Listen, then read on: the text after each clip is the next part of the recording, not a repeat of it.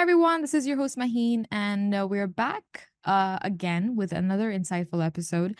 Today, we're delving into the realms of company culture, leadership, and the nuances of scaling small businesses in the tech sector. As small businesses across Canada continue to be the driving force of innovation and economic growth, understanding these facets can become crucial for their success. In today's episode, we're thrilled to have Chris Collins, a transformative leader behind People to Go. With over two decades in the IT staffing and services industry, Chris has been instrumental in fostering an employee centric culture, propelling the company to new heights. His journey from People to Go's first employee to becoming part of ownership team and his recent accolades, including being named a top 100 staffing leader to watch in 2024, make his insights invaluable for today's discussion. Without further ado, let's welcome Chris. Good afternoon and welcome to the Canadian SME Small Business Podcast. How are you today? I'm well. Thank you for having me. Chris, I mean, your journey with uh, People to Go from its inception to becoming a leader in the IT services uh, is truly inspiring. And we are quite eager to dive into your experiences, first of all, and then, you know, really understand your leadership port, uh, philosophy and your approach to building a thriving company culture. Um, let's kind of begin by really understanding how to build a vibrant employee centric culture because the foundation of any successful company lies in its culture, particularly one that prioritizes its, its employees. Um, Chris, could you please share your approach to creating an employee centric culture at People to Go? Yes. Well, my approach to creating an employee centric culture really started with redefining our core values. Our original core values were very customer centric, and there was nothing wrong with that, but we needed to focus more on enhancing the employee experience. So, re engineered our core values in 2020 after getting my ownership stake. Five core values action, respect, transparency, collaboration, and professional development. And it was pivotal that myself, my partner, and the leadership team embody these values, setting an example for our staff to follow it didn't take long for them to jump on board. Um, one other thing we did that I think is very unique is we we established a culture committee composed of volunteers from each team in the organization who focus specifically on enhancing the employee experience and engagement with complete support from the owners. In fact, we're not even involved in this committee. I'm not to this day, I'm not 100% sure who's actually in the committee. We wanted this to be a committee of the people for the people. And I hmm believe our staff should control and influence our culture, not the owners or leadership team. And they've been doing a remarkable job of being very innovative on how they bring value to each other and the rest of the company. I mean, it shows. I really want to extend a heartfelt congrats to you, Chris, for being uh, named a top 100 staffing leader to watch in 2024. I mean, it, it shows that your transformative leadership at People to Go has not only fostered an employee centric culture, but has also propelled the company to new heights since you started it as its first employee. Now, uh, if you build onto this a bit more, Chris, how have you seen this culture directly contribute to your company's growth and success? Well, part of the inspiration for having an employee-centric culture really centers around what Sir Rich, Richard Branson says. You know, take take great care of your staff, and they will take great care of your customers. And at People to Go, we've proven that to be true day in and day out. Employee satisfaction, morale, engagement improved, and our customer, and of course, our customer performance metrics and year-over-year financials increased, facilitating our company growth. The investments we made in our staff, our our greatest assets, are definitely paying off, not just in the short term, but the long term. Chris, your strategies really underline the importance of, you know, investing in people as the key to building a sustainable and thriving business. And on this note, you know, I really want to connect with our listeners as well. Listeners, it's it's quite clear that the heart of every successful business uh, beats through its culture, and it's the silent language that communicates your brand's values, uh, you know, the brand's mission and the vision to both your team and your customers. So as we reflect on Chris's insights, let's let's really ask ourselves, you know, how does our own business culture speak to those around us. And remember that a strong culture not only attracts the right talent, but also the right customers. Uh, moving on, um, Chris, uh, let's learn about delivering consistent value to customers because in a competitive market, delivering consist- consistent value to customers is what sets a company apart. How does people to go ensure it consistently brings value to its customers? So this is a great topic. Uh, couple of. First of all, we have a very unique business model. We are a wholesale technology service provider. So we actually help technology companies provide cost-effective and value-added services and solutions to their clients across North America. So we bring consistent value to customers by being very collaborative and consultative. I think this really separates us from our from our competitors. So we help our customers understand their clients' pain points, their challenges, their unique needs We gather, we help them gather requirements and determine the expected business outcomes. And then we provide the right IT resources, services, and solutions to meet those needs and deliver success. Mhm. Essentially, people to go doesn't win unless our customers win. Their success is our success. And our business model focuses on customer enablement. And modestly, we have a year-over-year win ratio of over 50%, which reflects how we help customers be consistently successful utilizing our services. These are some great insights. I mean, they really reveal the critical role of, uh, you know, customer customer centric strategies in driving business success. But Chris, you know what would add a little cherry on top of the conversations that we just had would be an example. Could you please share an example where this focus on customer value led to a significant win for your company? Uh, there's many there's many significant deals that brought a lot of value to customers, but there's one that stands out that I'm particularly proud of. It was just a, a monumental effort with our project management and resourcing teams. So this this example is that really stands out is a customer came to us at the 11th hour on a very large enterprise deal and needed 110 technicians across Canada to start in less than four business days for a massive desktop uh, laptop upgrade project for again a very large enterprise end client. Not only did we align 110 quality technicians within four business days, but we had uh, additional backups just in case. And in total, we used over 246 technicians over five, five and a half months to deliver an exceptional business outcome and experience for our customer and their client. The reason we were able to do this is that people to go, we build and manage a massive technology talent pool that we draw from to meet our customers' on-demand resourcing needs. Uh, given these IT skills gaps and, and labor shortages we face in North America, you know, we were founded to provide a reliable, sustainable, and on-demand national resources solution.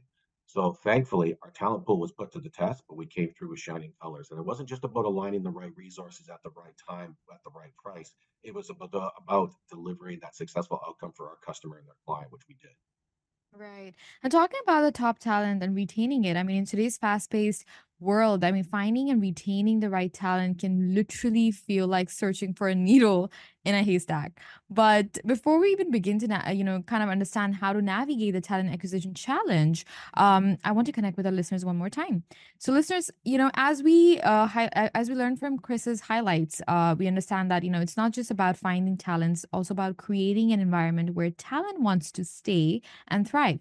So think about what makes your business a magnet for top talent. And are you offering, you know, growth, recognition, and a sense of purpose to your team? Because at the end of the day, it's the team that is your biggest asset in navigating the business landscape. Um, Chris, um, you know, as we as we kind of, you know, emphasized on how finding and retaining top talent is more crucial and challenging than ever in today's volatile job market, what strategies has People to Go implemented to attract top IT talent?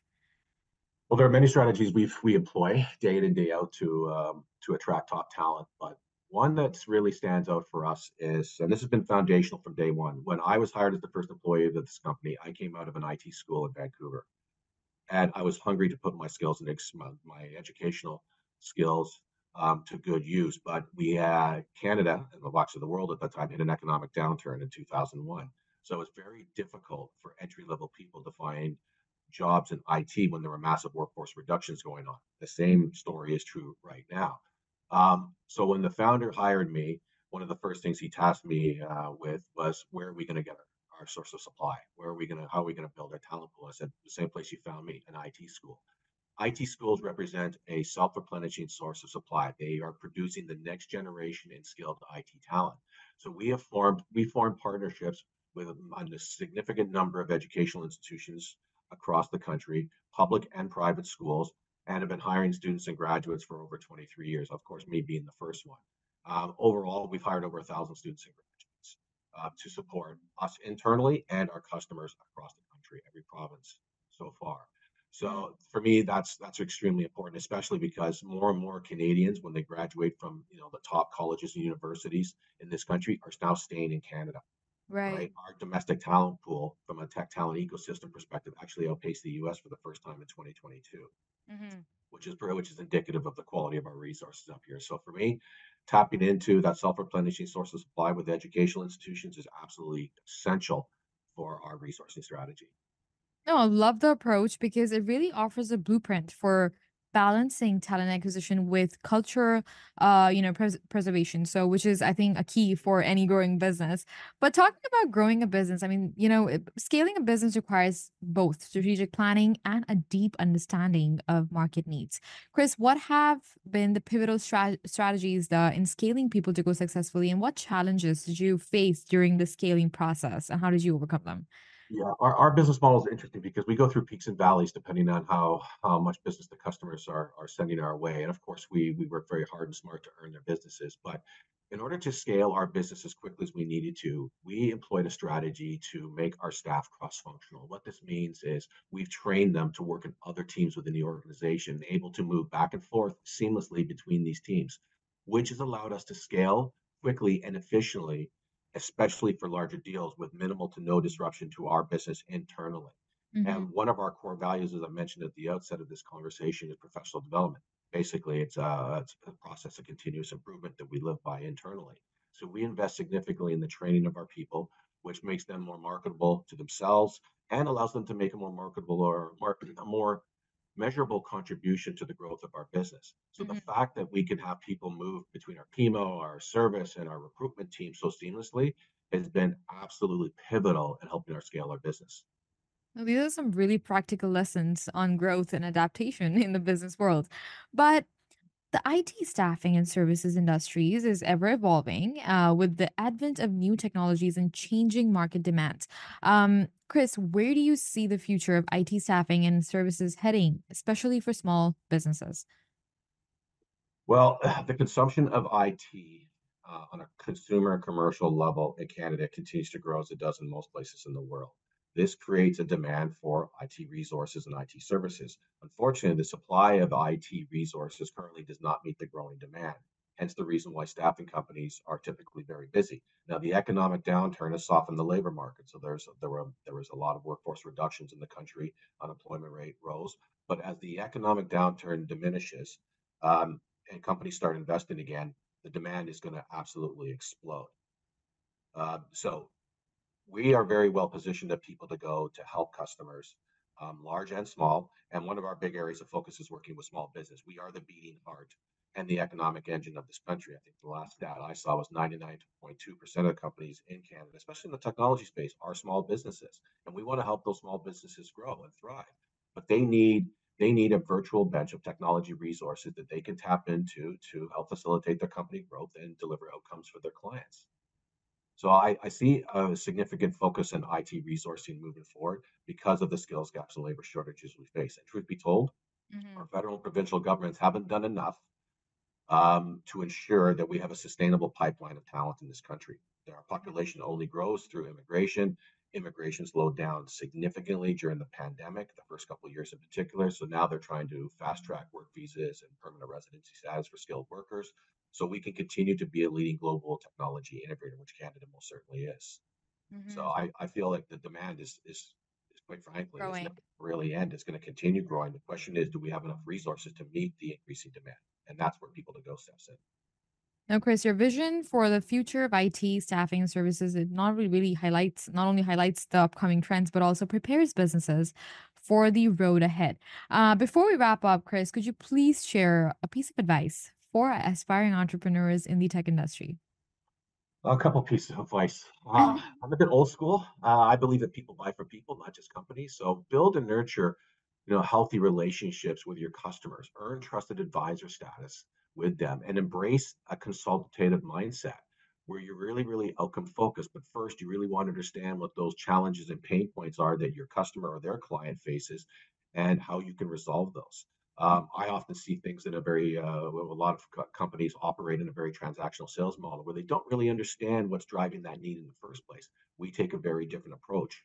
And this and this helps ensure that we are aligning the right resource services solution to drive that successful outcome for our customer and their clients. Mhm. So I think if people really embrace this, you know, again, the people buy from people because right now there's there's still a bit of a hangover with complacency about getting in person, like meeting people in person, but build and nurture relationships. You know, earn your customers' business, bring as much value, and be creative and innovative in how you do that. And part of that for us, at People to Go, is is embracing the consultative and outcome focused mindset. Thank you so much, Chris, for sharing your invaluable experiences and insights with us today. I mean, your journey and your leadership at People to Go, they're both testament to the impact of building a strong company culture and leadership philosophy. So thank you for your time. My pleasure. Thank you. Listeners, as we conclude today's enriching conversation with Chris, it's quite evident that uh, navigating the complexities of the small business growth, especially in the IT sector, is no small feat. It requires vision, adaptability, and an unwavering commitment to both people and tech. So, to all the entrepreneurs and all the business leaders that are tuning in, please uh, take these insights as a beacon uh, to guide us toward uh, not just growth, but meaningful and sustainable success. And together, we can redefine what it means to be a small business in Canada. Uh, again, thank you for tuning in. Uh, please be sure to subscribe to the Canadian SME Small Business Podcast at canadiansme.ca for more inspiring stories and expert advice. Special thank you again would be extended to our guest, Chris Collins, as well as to our partners, um, exclusive banking partner RBC, shipping partner UPS, uh, accounting software partner Xero, email partner Constant Contact, and IAG Business Edge, our hospitality partner. Your support is truly appreciated. Uh, until next time, keep striving for excellence and remember that success of your business starts with the strength of your team. Thank you.